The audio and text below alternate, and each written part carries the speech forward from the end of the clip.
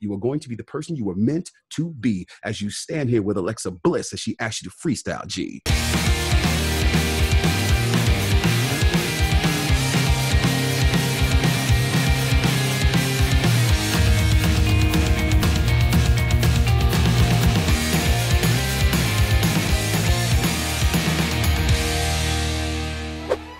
Welcome to my new podcast, Uncool with Alexa Bliss, with yours truly. I've been obsessed with all things Disney ever since I was a little girl. I had all the movies on VHS, I know all the words to all the songs, and I've been to almost every Disney park you can go to. So I was super thrilled when I found out I got to get the chance to talk to Genie from Broadway's Aladdin, James Iglehart. James won a Tony for his role in the Disney classic and starred in Hamilton's original Broadway run which I was lucky enough to see, and he was incredible. James and I share a love of all things Disney and wrestling, so we started geeking out as soon as our conversation began, so much that I accidentally forgot to formally welcome him onto the show. Oops. Let's drop in on my conversation with James. There is a lot to get to, including the desperate lengths he took to live up to his high school nickname, GQ. Thanks for doing this. Very Please. excited. I know Of we've talked about this for a while, so I'm excited Yeah, like actually. when you when you first came to the show, I was like, hell yeah, I'd be on. Yeah. I know. I'm so excited. I got my little Disney castle set up right here. I see that. I, I Just for you. We brought it in. I love I love how much you love Disney. It just it, it really makes me happy. What's your youngest Disney memory? My youngest Disney memory is Disney Park or Disney period. Anything. Okay, my youngest Disney memory is probably about maybe six or seven. My father and mom took me to the drive-in to see Jungle Book. That was the first Okay. Disney thing I remember, and I was hooked, absolutely hooked. I love it. I uh, I used to always watch. Uh, it's so funny too because I I don't remember why I knew certain Disney things. Uh, apparently, my parents said I used to watch Beauty and the Beast, uh, the VHS on repeat until I was about four and a half. It never left the VCR. And recently, me and my mom were like, you know, what, we're just gonna watch Beauty and the Beast, and she knew every word. And I looked at her and I go, how do you know every word of this? And she goes, are you kidding me? She's like, this thing didn't leave the VCR for a year and a half. How do you not know this? My very first Disney memory was we were at Disney World. I was three years old. I was in this little pink checkered like shirt with the poofy sleeves that had elastic on them. So they like poofed up and elastic.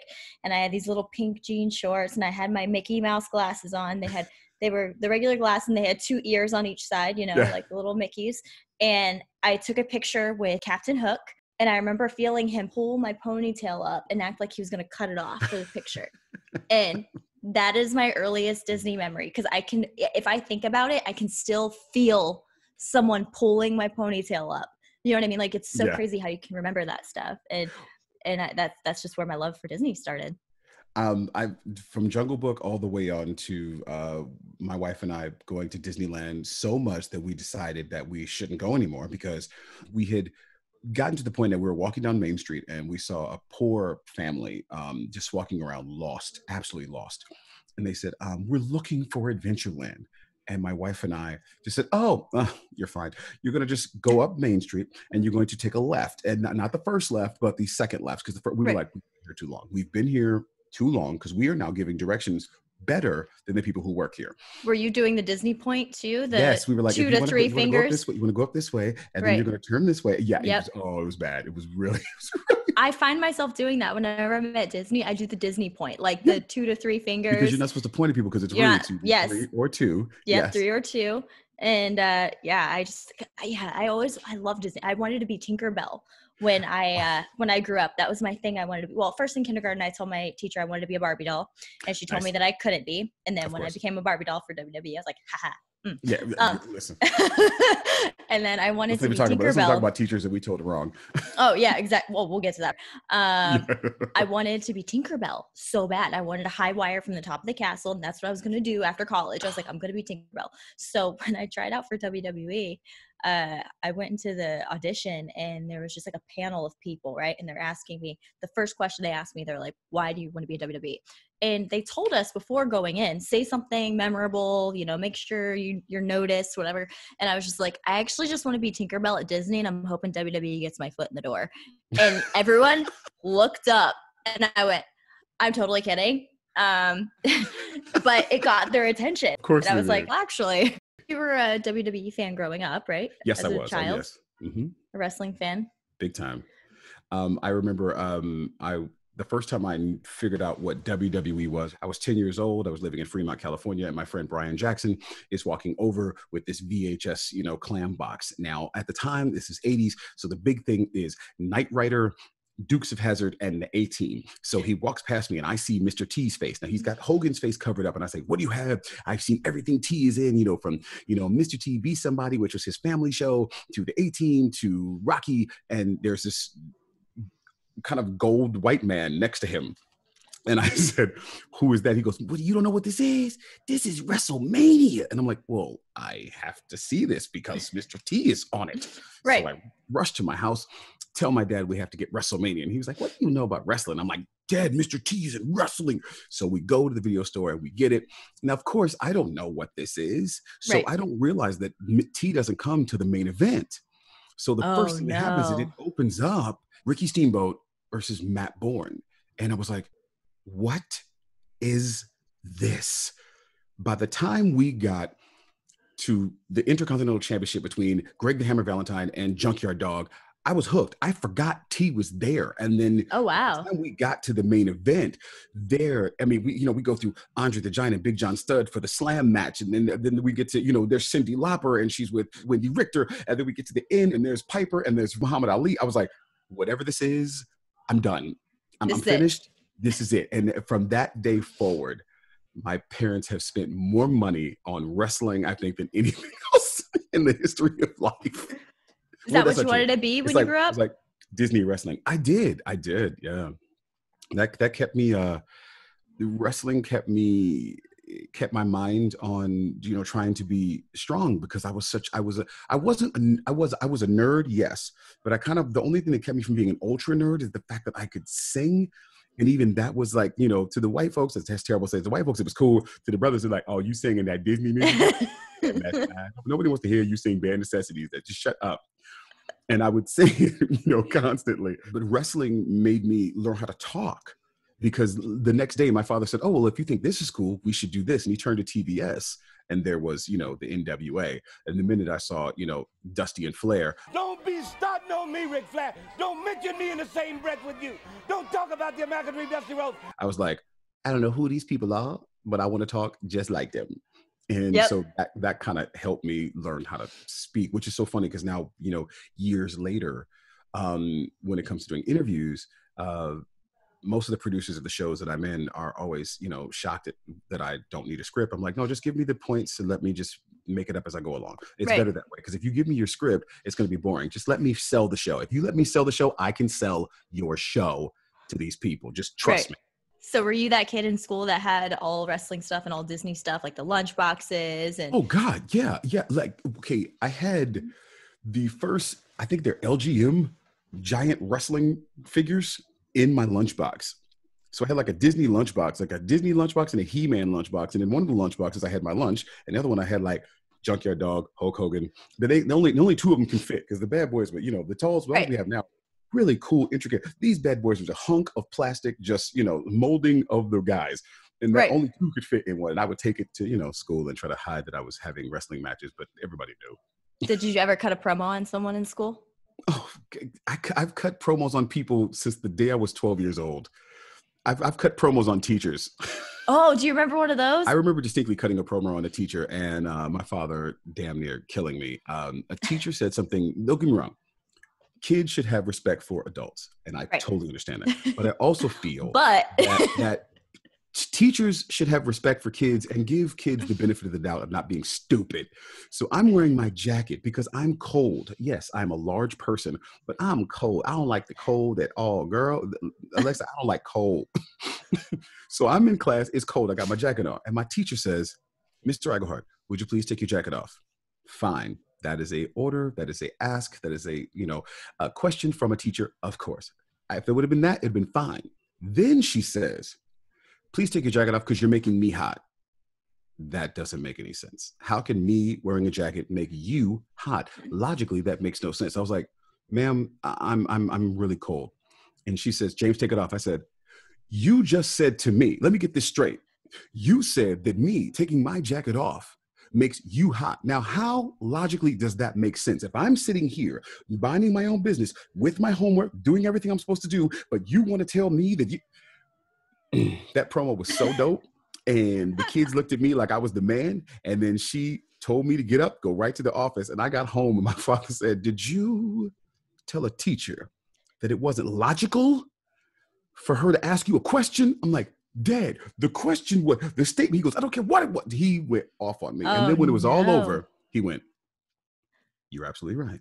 It was illogical and it was stupid, but you're a kid.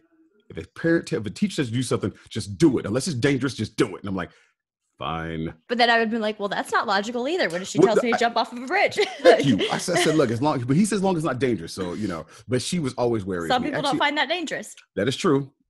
All the teachers were wary of me because I always was like, eh, what you say has to make sense for me in order for me not to question it. You know, you, I'm just not going to blindly, you know, just go do stuff you say. That's that's really stupid. What did you do then on your free time? Did you ha- did you hang out with your Um, my- friends? Did you? I, I I tried to I tried to hang out with my friends. Uh, the problem is I was my parents had me in church from one Monday to Sunday. really? Yeah, most of my friends were at church. My mom had choir rehearsal. We'd be outside. Um, I tried to play baseball. My father was a professional baseball player uh, for one year with the Pittsburgh Pirates, and I tried to play. I am that black guy with no sports skills whatsoever. Uh, I'm, I'm that dude. The fun part is like, I like a basketball weave seems so simple. I can't do it, but if you put an eight count to it and it's a Right. dance, totally can do it. Totally can do but it. dance, dance. dance is a sport. Yeah. So you, so yeah. I, I street danced a lot. I wanted to, you know, once you, you know, Really? kid, yeah, it's the 80s. So once you saw breaking or beat street, I was like, well, that's my life now. I'm a, I'm a b-boy for the rest of my, that's what I'm gonna do. I'm gonna just make money dancing on cardboard because that's what people do. that's yeah. That's Yeah. very logical. yeah, totally. So did you ever try to be a wrestler? yeah. Um, I, I, we, okay. So um, in junior high school, uh, King Intermediate, a bunch of nerds got together and formed the NWA, the Neighborhood Wrestling Alliance. And Oh. this was the smartest and stupidest idea ever because we would wait till lunchtime or some form of break and go way out into the field and wrestle each other like complete idiots Right. because we could have killed each other. Absolutely killed each other. Um, but and we had cardboard belts. We had the world title. We had the intercontinental title. We had the U.S. title because one of our friends loved the NWA and it had to have a U.S. title. So we had Right. the World Tag Team Championships, which were designed. Actually, we didn't have cha- the Tag Team Championships. Uh, we only had in, we had the um, Intercontinental, U.S. and World Title, and we just said we had the championships. But my friend said we had to have the U.S. Tag titles because the Steiners had it. So we Right. we just had Clearly, them. They you were invisible, to. but we ha- we had to have them. we would wrestle. I was in longest reigning Intercontinental Champion of the NWA. I'm very happy about that. Oh, there you Um, go. Yes, because Macho Man had the title, and so he was my favorite wrestler. So I had to keep it, and I literally would cheat to keep it. I would throw dust in the brother's eyes. I would kick him in the shin. I was going to keep that title. Right. But there was one particular match that I was glad I wasn't there. It was a Sunday. My mom made me go to church, so I couldn't go. But my friends were dumb enough to go to break into the school, break into the school, and they they grabbed somehow they got loose two of the uh you know when you're playing baseball there's the cage behind you and there's a couple of like there's uh there's always some um portable ones for practice. These two these fools put these two bad boys together and made a cage match and i was so glad i wasn't there because these fools No. when they came back to school they were all bruised out they were all cut up and i was like what happened? They tried to have a war games between just four people right. and so, and the, and the kid who was the referee, he's just a little nerdy kid. He wasn't going to tell him to stop. He was too small. And these fools were going at it like, because at first it was fun and they were playing. And then somebody got hurt and the crap got real. Right. It's all fun until it's all, all fun and games till somebody like, you know, skins a knee and is like, forget you, man. My mom's going to kill me. And they just started fighting. So when they got back to school, I was like, what happened to y'all? My friend Colin and Dennis, who I still am friends with till this day, we're all in our 40s, damn near 50s. And they won the tag team championships and they still talk about it because it was funny. do they still have their titles? I don't know if they have their titles still, but I, I distinctly remember that Halloween that it was a cold, cold, cold Thursday night, and those dumbasses dressed like the powers of pain. So they went outside and trick or treated with no shirts on. It was it because they had, Oh, you know they had lifted weights to get buff a little bit, and it was cool for about an hour. Four hours later, them bad boys were freezing, and there was no coats. We were so far away from our homes we were like trick or treating. Unfortunately you stopped wrestling in high school. You said. Well, no, I I never I never actually I wanted to wrestle in high school, but I was in show Well, choir, which is even NWA. I mean. NWA. Yes, I stopped in high school. Yes, Right. but I always had the dream, and so a couple of my friends who were in the NWA went on to high school wrestling and found out how hard that was. And I was like, you know, if I'm going to get into wrestling, there are wrestling schools. I'll do that. So I Right. went on to show choir, which of course was the wonderful nerdy decision to make. so that wasn't exactly the coolest thing. So freshman year, I was in band, which you know, totally made endured me to all the people. Um, Right. sophomore year, What'd you play? I played drums Oh, okay. because I play because I played drums in church, but I played the set in church. Um, Ah. In school, you know, it was the timpani, the doom, doom, doom, and that just looks ridiculous. I mean, unless you have a tux on and you're, in, you know, uh, making money, you look like a complete idiot. So, um, so that was really uncool, but it was fun, you know. And, but I was like trying to get away to do something, you know, cool. And then I saw a show choir, got in the show choir. So I didn't, I didn't try to be a wrestler until my senior year of high school when I was going to go to wrestling school. But that's a different story. What kind of kid were you like in high school? You keep Um, saying you're a nerdy, but what classifies that? classifies that is that there are the there are the athletes Uh huh. and there are the the cool people okay basically like this so um our class you know you have your your class president your class flirt your this this this this when, when our senior year i was voted most talented but i really wanted to be biggest flirt because all the girls voted for you to be biggest flirt Right. and you know how bitter I am because I still remember who won Biggest Flirt. Willie Thomas. Willie Thomas won Biggest Flirt, and I did not. I won Most Talented, which lets you know that I was still a little bitter. But I was, I like I said, I played instruments and I sang all through high school. So I wasn't, I wasn't like ultra nerd, but I wasn't cool enough to be with like the elite cool people. So I was like a mid card nerd, and it was, it was, it was like, like I, I was trying to get to the upper echelon, but I just couldn't break the glass ceiling to be cool. But I was cool enough to do certain things. But I, you know, I, I like basically I had, I had some crowd behind me, but not enough Right. to be like cool. Well, I, I, heard, I heard you had a little nickname in high school, though, right? What? GQ was that it was that a Ah, thing? okay, so yeah, so um, my freshman year we had this thing called METV, which was Mount Eden Television. So each class had a television set. So they'd given some money to our, our school so that we can do the announcements on TV. And there was a senior group, Dondrell, uh, I think Dondrell Johnson, and then myself. Uh, Dondrell had were seniors, and then me and my freshman crew. Well, they got on and they had sunglasses and were doing stuff, and I knew that I could freestyle rap. Like I've been rapping since I was 10 years old. So here I am, 14 years old. I could bust some rhymes. So I called myself GQ, and my boy was DJ Freeman because he was DJ and his last name was Freeman. Little did we know that Dondrell called himself GQ. I didn't know that was his nickname, and he's a senior. Dondrell oh, no. dressed. Dondrell dressed in suits to school, like he wore full, full, full garb. I mean, tie, suit, dress shoes to school, and had his homework in a briefcase. And so I'm calling myself Oh, GQ, like just as a rap name. He's living the life. So when he hears that some crazy freshman is calling himself GQ, Oh, instead of being a man and walking up to me like a person, you know, and saying something, he got on METV and was like for the whole school to see, talking about, No. uh, you know, there's only one GQ in this school. We all know who that is, don't we? And like everybody's looking at me. I'm in class like, uh, is he attacking me? Because I never, I would, I'm not a confronter. I am not a confront person. That's not what I do. Um, it's funny now because my wife always says, no, you don't confront, but you damn near sure like to finish. But I don't confront. So this literally, it seems like a ABC after school special. It ramped Right. all the way up to the uh, the last dance of the year, and we had a dance battle. Alexis, we had a dance battle. It was Dondrell and his two boys, and me and my boy CT and Darnell, and we had a dance battle. Now they're only doing street dancing, like you know MC Hammer, Vanilla Ice, this and that. I, you know, Right. come from a musical theater background, so I like you know from Michael Jackson to Prince to Cats to Dreamgirls, and so I am like throwing all this crap in there, and they're looking at certain moves are like, "Oh, that's cool." Certain moves are like, "What the heck is that?" Because I'm like pirouetting and splitting Yeah. and coming up and stuff, and they're looking at me like I'm crazy. Now the crowd says the freshman won. right. The seniors altogether, and they're more powerful, say that Dondrell and his crew won. We also ended up having a lip sync battle. That's the truth, where my group just happened to be New Edition and his group just happened to be well, Bobby Brown and Heart and Soul, the dancers. So Right. we lost that too because the seniors were voting. Right. All the way at the end of the year, graduation day, it's over. Uh, Dondra walks up to me with no one around and says, "Look, man, um, I have to give it to you. You're a freshman and you're bright and you're strong and you just you you have this drive to do stuff. So I'm giving you the name GQ. Wear it well." Aw. So from sophomore year to senior year, girl, I dressed up every day. Oh, there I- you go. I dressed up. That, that was the first time I didn't wear a lot of uh, WWE stuff. I had a lot of Disney stuff.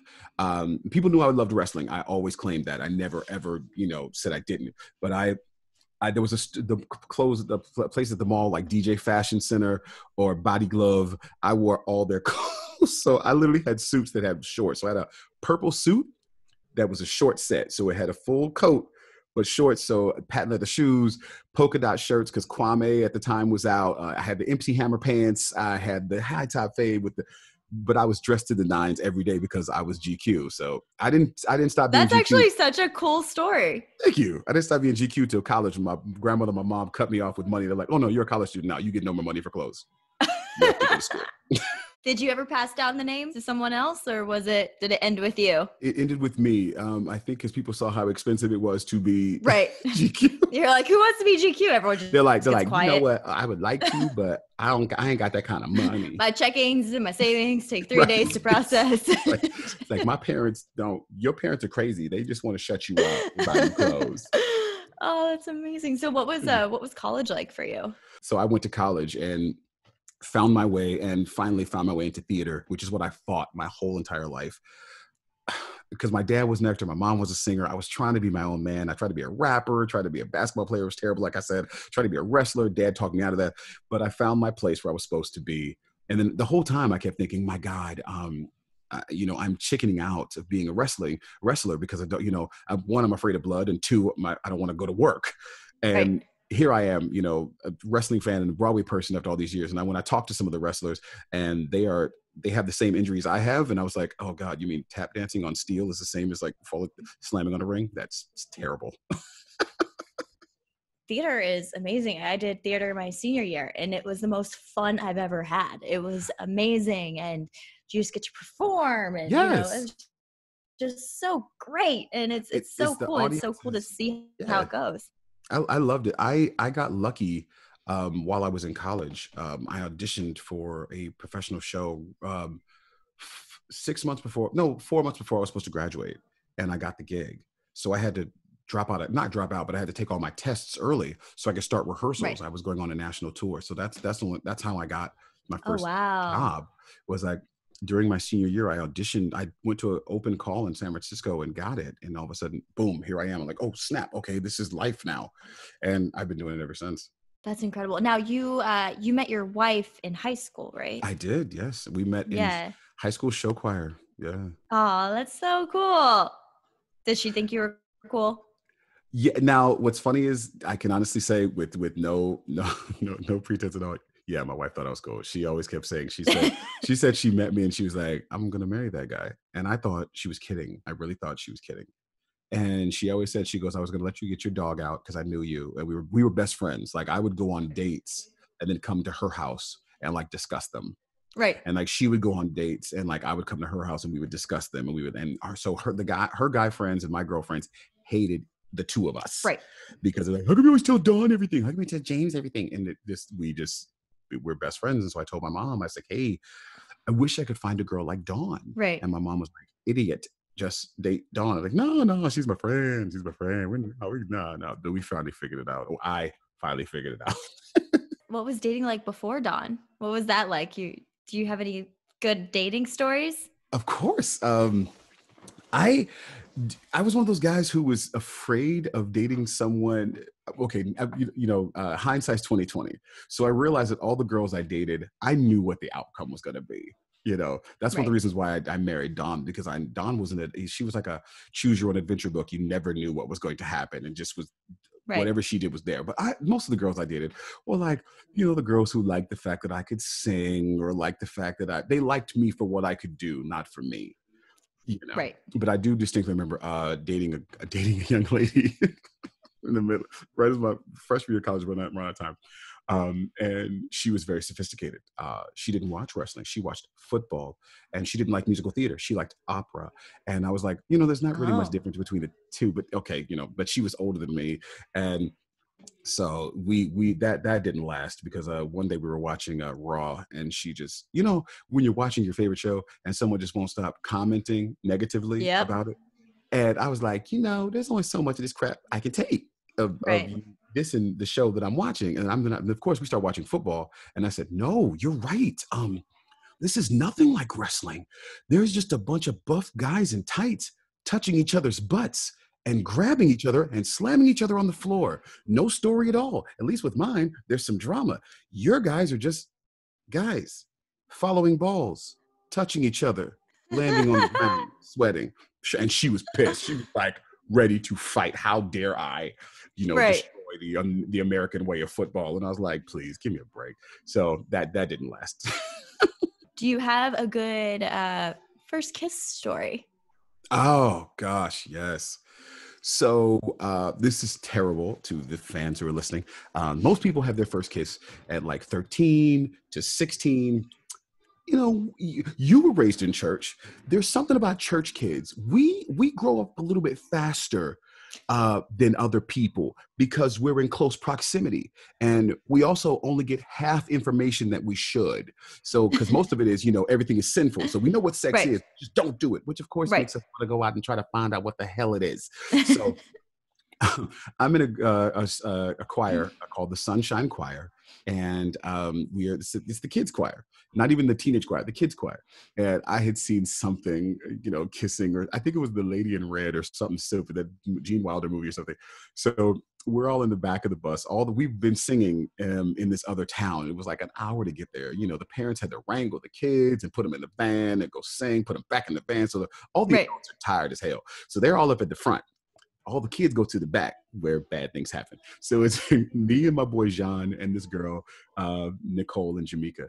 And so Jamaica and I are gonna kiss, and Nicole and Jean are gonna kiss. And so finally, right. it's all dark and everything. Finally, and I walk up to Jamaica and we have our first kiss, like tongue on tongue, like first kiss. Oh my God, it's like crazy. But in front of us, my my girl Nicole, I don't think she knew what a kiss was. So while we're back there having a good time, we hear this. Oh my God, you put your tongue in my mouth. And it's like, no. we're like, the parents are gonna kill us all because we know somebody heard because she said right. so, so loud. But you know, Jamaica like so everybody tries to like straighten up and act like we're not Right. kissing, we're like we're not making out in the back of a van on a church trip. Right. Um, but it was it was a great kiss. Uh Jamaica and I are still friends. We still laugh about it. She's married, got kids. I'm married, got kids. Which is you know, it's just one of those crazy, crazy moments. And um I didn't know what I was doing. Uh, the first time we kissed, I bit her, which was terrible. Oh Uh, my god.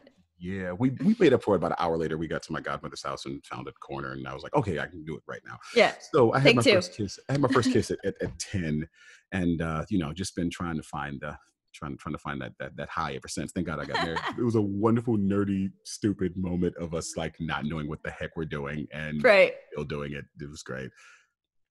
Oh man, that is that is good. So when you're performing in Hamilton, do you ever see anyone out in the crowd and geek out for them? Oh, completely, completely. Uh, both shows, actually, Aladdin and Hamilton, I have geeked out. Um, I found out that Xavier Woods was in the audience for Aladdin, and so with Aladdin, I have a lot. I had a lot more freedom to uh, improv and create.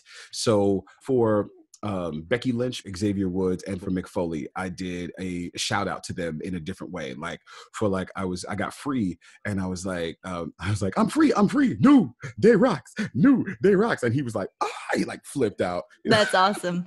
So, and in Hamilton, I can't really, you know, say anything, but I definitely, if I see them, the minute I get off stage, I run to the stage manager. I'm like, so and so's backstage, someone's out there. Go send to Usher to ask them if they want to make this happen. That is awesome. I can see when entertainers are, are in the audience, but I always catch the wrestlers because I, I, I look for them. It's it's amazing. Yeah, you do so well. I, I've seen. Hamilton twice, and you're just so entertaining and so good at what you do and it's easily one of my favorite uh one of my new favorites and it's it goes along with uh you always wanting to be a rapper so that kind of worked That out is, that is you true. Um, I wanted to be a rapper so badly because I was trying to fight so hard against, against being an actor like my dad and a singer like my mom. That here we are, all these years later, that I am I get to do all of it at once. I get to you know rap, sing, and dance. I'm like, huh, that worked out quite nicely. I'm also in a group amazing. called Freestyle Love Supreme with Lin and a bunch of the guys who were in uh, Hamilton, and it's an improv group. So people give us words, and we just instantaneously make a rap on the spot. So that's something I've been oh doing. that's cool yeah, that's something I've been doing since I was 10 years old. So I end up freestyling wherever I go. what's next for you Um, what's next? Uh, well, you know, getting over all of this, you know, that that's happening in the world right now. Uh, when Broadway opens back up, uh, you know, I'll go back to Hamilton, and I have some other projects that are in line, but I can't, you know, you Right. can't really talk about them because they're not, you know, contracts aren't signed and things. There's other projects coming up, but the great thing is I got to do a few cool things before the shutdown happened. Um, I play a character called Lance Strongbow on Tangled, the animated series. Yeah animated series, and the um the last season of the of the whole cartoon is now on Disney Plus, which is great. So you can see it. It's fantastic. Um, I get more comments of parents who've watched the show. of course like they they put their they put their kid in front of it and go, oh wait wait I'm into this, and so it's got a great storyline from start to finish, first season all the way down. Um, and I can't say who, but um, I am on I am on Ducktales. I'm on season three of Ducktales, Oh, and I am cool. so so excited. I that when I was a kid, I would rush home to watch the Disney afternoon with you know you know Ducktales, Darkwing Duck, and TaleSpin and Gummi Bears. So I end every podcast by asking the same question, but yours is going to be a little bit different. I always ask, go back to when you were most uncool. Mhm. What would you tell yourself back then? But I want you to do yours in a freestyle. Ah, okay, okay, okay, okay, okay, okay, okay. If I was to go back in time, if I would see myself, I would try to pick his mind in a rhyme. I would say, Yo, James, stop trying to play these crazy games with these folks who don't really know who you are. Don't you understand that your history is soon about to be a star? But instead, why don't you stop lending ear? First of all, stop trying to live in fear. Stop worrying about what people have to say. What they have to say won't move you on from day to day. Don't you understand? Someday you'll be a man, and someday your whole world will be in your own hands. So don't be worried about what the brothers think or whether the girls think you're cool when they're cool wearing brown and pink or whether they coming back trying to say what you can do. Don't you understand, brother? You were born to be cool. By the way, you have to get a thicker skin. People are going to say something to you, and you're going to have to be strong within. You're going to have to listen to their words and take what you see. And if you like it, keep it. But if not, let it go. Gee, come on. Don't you understand? The world is about to go on, and you are going to do this. You are going to be strong. You are going to be the champ like you were in WWE. You are going to be on Broadway. You're going to win a Tony. And someday you're going to be sitting back while you're on a cast. You're going to be sitting with the tag team women's champion on her podcast because that is where your life is about to go. You have to see that everything is about to make you be in this show. This show, not on stage, no, this show called life. You're going to have two cats. You're going to have kids, have a wife. So what you have to do is you have to let go and near, let go of this big word that's called fear. Be confident in what yourself is and have a thick skin. Be a champion because that you were born to be in. So what I have to say to you, my man James, stop listening to the world and the life and its games. Stop. Just follow your heart. Be smart. Do your part. You've got this on. It's going to be a way. It's going to be not wrong. You are going to be the person you were meant to be as you stand here with Alexa Bliss as she asks you to freestyle, G. That was amazing. Mic drop. I, don't even think I can say anything after that. That was incredible. Thank you. I mean, wow. Um, I'll say I'll, I'll say something. I, I I just want to say that um I am we've only known each other a little while, but I am so proud of the work that you have done. I know I have seen every documentary on you, every YouTube thing on you, and then talk to you in person, and I know how hard you have worked to get to where you are. I know that when they say t- being in the WWE, it's all about a big man's game, and you being one of the smallest ladies in the group, just and the fact that you've come so far, you've come so far by working your butt off and doing just what I said, having a thick skin, not having fear, and living up to your own potential, the potential that you decided to put yourself on, not what other people put yourself on. And it's been fun to watch you go from NXT as the Tinkerbell character, Barbie doll character, to the Alexa Bliss that is just the mad destroying woman who just will kick a brother in the shins to win a title, which is one of my favorite things about it. You were one of the best heels in life, and it, you were also one of the nicest people. And I, I, I think it's great that young ladies can see you and see you as a role model for what you've done. You, you said there is no size; it's just about the person. And I, as a wrestling fan, watching you come so far and what you've done is like freaking amazing. So, oh, thank I, you. I just want to say, as, as as a fan and as a friend, I think you're awesome, and thank you for what you do. Oh, thank you, James. You're No you're incredible. Stop, you're making me all emotional. um, that was so nice of you. Um, Hey, that's the truth. oh, thank you. Uh, so before we wrap up, uh, where can we find you on social? You can find me on social on Twitter at James M. Iglehart. Uh, that's I G L E H A R T. Or you can find me on Instagram at J M Iglehart. So J M and then I G L E H A R T. And I'm usually there being stupid, especially now, bugging my wife. Um, I, I do dumb things in the store because I can. So Right. when I'm on stage, that takes away my energy. We haven't had any time on stage. So if you go to my Instagram, you'll just see me doing dumb crap to my wife. She just has to deal with it because we're stuck in the house together. Right. So.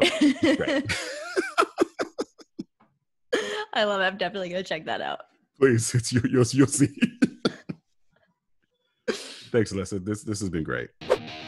Thanks to GQ, I mean, James Iglehart, for joining me on Uncool with Alexa Bliss. You want more? You can hear a brand new episode right now. Just search Uncool with Alexa Bliss on Apple Podcasts, Spotify, or wherever you get your podcasts and hit follow or subscribe. New episodes will be released every Tuesday. And let's talk about your uncool moments on social media by using hashtag Uncool with Alexa. Thank you for watching, and remember, it's cool to be uncool.